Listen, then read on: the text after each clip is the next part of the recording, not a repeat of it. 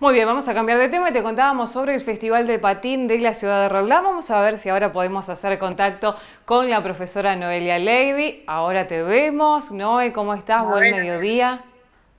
Hola, ¿me escuchan? Perfecto, ahora te escuchamos bien. Bárbaro. Noe, contanos sobre este primer festival virtual que se va a estar transmitiendo en lo que es esta jornada. Contanos cómo se fue desarrollando y con qué nos vamos a encontrar. Bueno, lo, lo, primero fue reinventarse.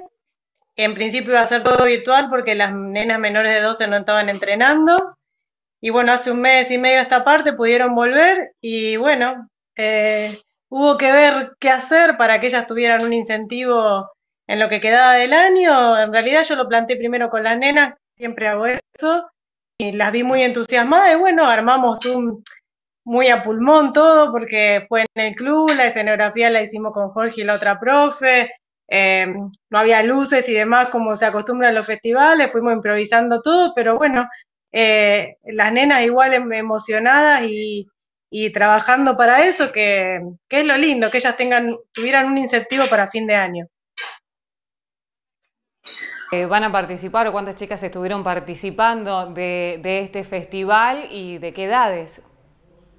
Bueno, eh, todas las nenas que están yendo a patín, de los grupos eh, tanto de Jorgelina como, como los míos, eh, serán, no sé, ahora estarán yendo a patín 60 nenas más o menos, no más de eso. y también algunas nenas que están aisladas o que no retomaron porque su familia todavía decidió que no y quisieron participar desde su casa, también se hizo un video ellas grabaron el video y nos lo enviaron y lo metimos dentro de este cuento navideño que armamos. Bien, eso te iba a preguntar, ¿tiene mucho que ver con la Navidad? Adelantame algo, con qué nos vamos a encontrar o cuál es la historia. En realidad era, era dar un mensaje que tenga que ver con todo lo que pasó este año y aprovechando el, motivo de la Navidad. Así que es un, un cuento, una adaptación de la realidad, vendría a ser, de la realidad que estamos un final que todos imaginamos feliz. Así que bueno, vamos a ver si les gusta. Muy bien, entonces hoy lo vamos a poder disfrutar este festival que ¿cómo lo denominamos?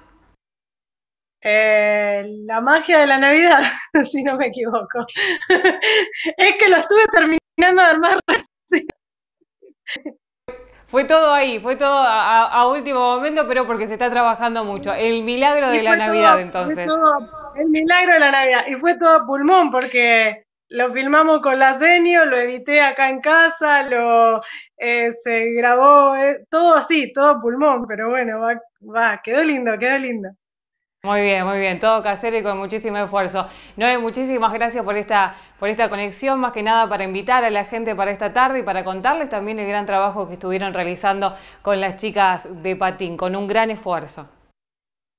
Bueno, muchísimas gracias por difundirlo. Están todos invitarlos a disfrutar de, ver a las nenas patinar, a los chicos. Y, bueno, y el mensaje es, siempre que se puede hacer con poco, con mucho, eh, y que los chicos disfruten de, esto que no tuvieron durante todo el año, y que bueno, y que qué importante es, que los chicos estén en los clubes, que puedan hacer sus actividades, sus cosas, y cómo con, con qué poquitito tuvieron un incentivo y, y bueno, y un, un objetivo para terminar el año. Por supuesto, que lo importante de que pudieron volver a la actividad. Noé, muchísimas gracias. Gracias a ustedes.